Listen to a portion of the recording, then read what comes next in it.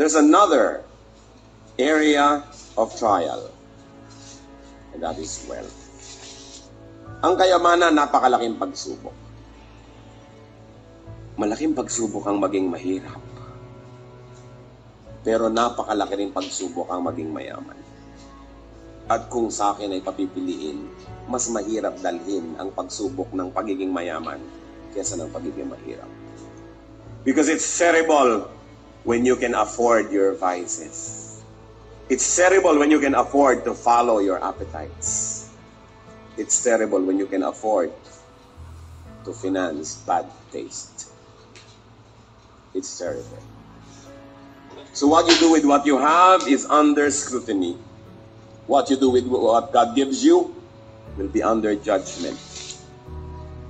Meron kaya tayong wealth, whatever it is, that we love more than God. What do you love above your wealth is watched in heaven. Hindi pa sa maging mayaman, ang gusto naman, Lord, na maging prosperous tayo lahat eh.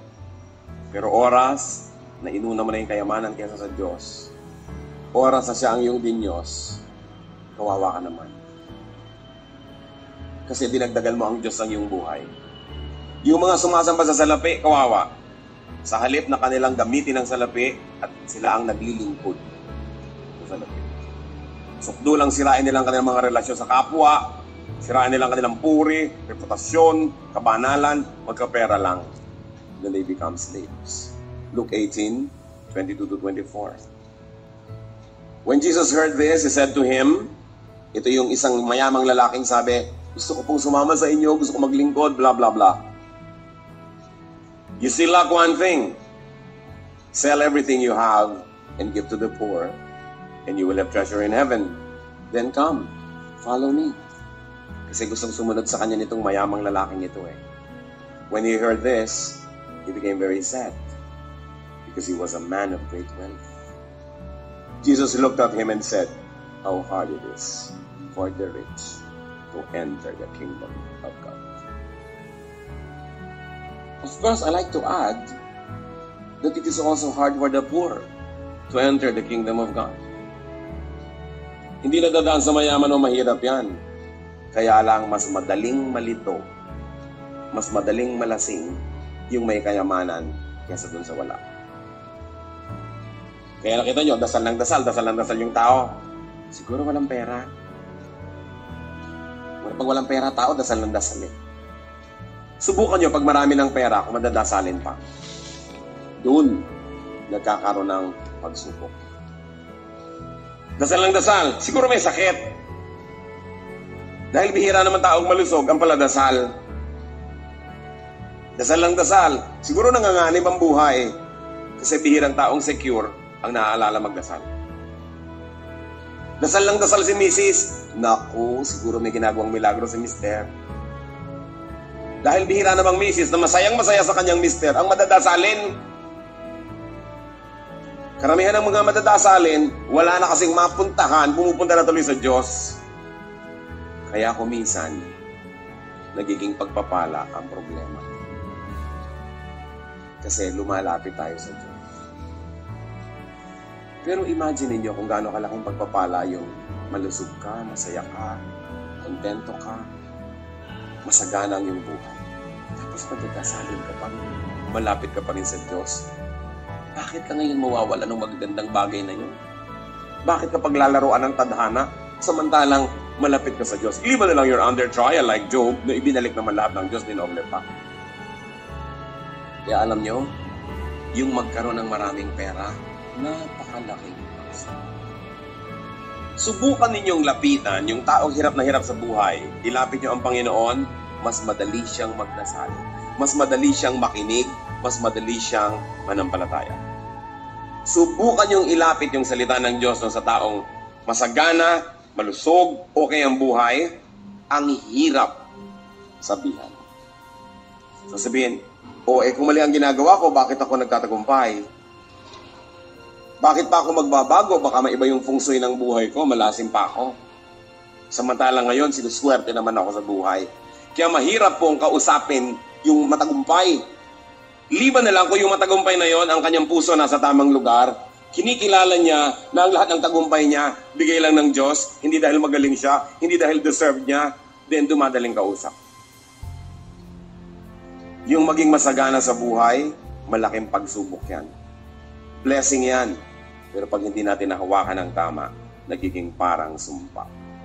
Wealth also brings so much worry. Sa bagay, nakaka-worry rin naman yung poverty. Pero yung poverty naman, wala ka masyadong choice. So, may simple. Pag marami kang pera, kaya mong limang-limang kerida, ibahay lahat, dumadali. Dumadali ang pagbili ng mga bisyo. Dumadali. Lumalakas ang loob maghiwa-hiwalay yung mga tao kasi kaya naman nila maghiwa-hiwalay eh. Kasi alam niyo, may mga tao naman, hindi naman dahil nagmamahalan kaya magkakasama because there's interdependence, hindi sila mabubuhay economically na magkakaiwalay. And in that case, poverty helps to keep them together. Until they evolve or they develop in their thinking that they will be having greater and deeper reasons for sticking together. But for a while, it helps that they need each other. Kaya nga po, malalaman mo lang ang taong tunay na magalang, tunay na polite, pagka mayaman, pagka merong kaya sa buhay. Kasi yung mahirap, wala namang choice yung kundi maging magalang eh. May choice ba? Empleyado ka, good morning po. Diba? Dadaan ka sa mga nag-uusap, yukong-yuko ka. Ang galang-galang mo, ayaw mong tawagan siya ng oras ng siesta. Ang galang mo, eh kasi baka nasa ilalim ka ng kapangyarihan niya. Pero oras na ikaw na yung makapangyarihan, oras na ikaw na yung may pera, at magalang ka pa, at hindi mo na kailangan ng tulong nila, pero magalang ka pa, yun lang nagkakatanong na lalaman, magalang ka. Because many people are forced by circumstance to be nice. But when you don't need people, when you are independent economically, in fact, when they are dependent on you and you're still nice, then that's your true character. Kaya po yung magkapera, magkaroon ng kapangyarihan, napakalaking pagsubok at konti lang ang tumabasa. Kasi kadalasan, pag mataas yung rango mo, wala nang sisita sa'yo, kung ano na nang pinagkagagawa mo. Kasi wala nang sisita sa'yo. Kaya marapat ibalik ka ulit sa mababang rango para ka tumino. It is a great trial to have power. It's a great trial to have wealth. Because you can do what you want. And when you're able to do what you want without having to submit to anybody, that's when your true character shows. Mahalaga. Isip-isipin natin. So watch out, Sea. Tingnan nyo nga katabi nyo kung mukhang mayaman. Baka nagpapanggap lang siya para wag niyong dukutan. Kung mayaman pa. Yung mariwasa ka sa buhay, may kaya ka, trial yan.